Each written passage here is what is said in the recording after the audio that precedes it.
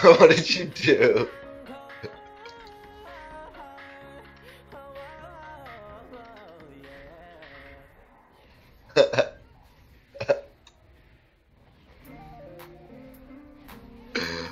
Oh, I'm coming.